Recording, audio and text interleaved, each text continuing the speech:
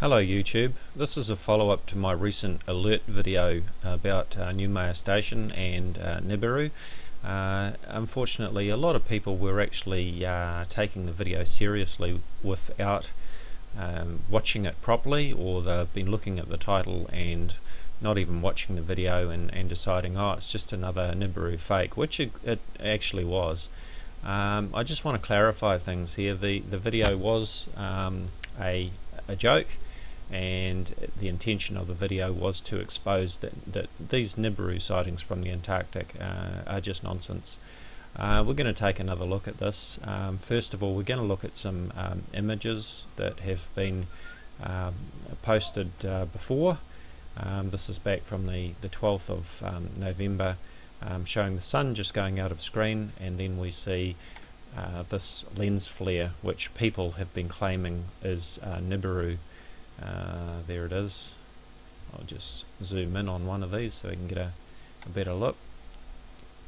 This is the object that people have been claiming is, is Nibiru. Okay, and then if we go back to the 18th of November 2012, uh, latest images I'm just going to step through um, and the sun is about to rise on the right hand side and what do we see? We see one of the Nibiru images parked right in front of the Neumayer Station building. I'll just step through again, we can see it moving along and then as the sun comes in it fades out. There's the sun with the black dot in front of it which is just the CMOS sensor in the camera is overloading because of the intense light of the sun. It's not Nibiru's moon or Nibiru in front of the sun, it's just sensor overload, nothing else. Again we see lens flare over here. Let's see what else we can find.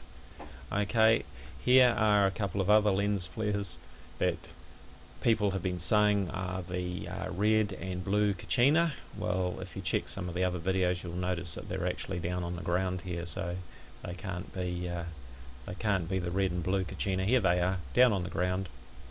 Nothing but lens flare. Okay, let's go back and take another look at that lens flare in front of um, Neumayer station. There it is. There's a good shot of it. Right there, and back to the other image that we were looking at. It's basically the same thing.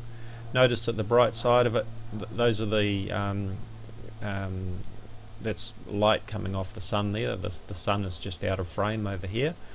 Notice that the, the bright side of the lens flare is on the right hand side away from the sun and if we go back to this one again the sun is over on this side here and the bright side is on this side of it. Now if this was really an object then the bright side would be facing the sun, it wouldn't be on the opposite side. So my apologies to the people who thought that I was serious with my video. Um, it was intended to be light-hearted. Unfortunately some people have a very short attention span or they just look at titles and don't watch the videos so I hope that's cleared that up for people. Thank you for watching and as always check out my Facebook discussion page Voices of Reason to Explain X or Vortex. I'll put a link in the, in the description area for you. Thank you for watching.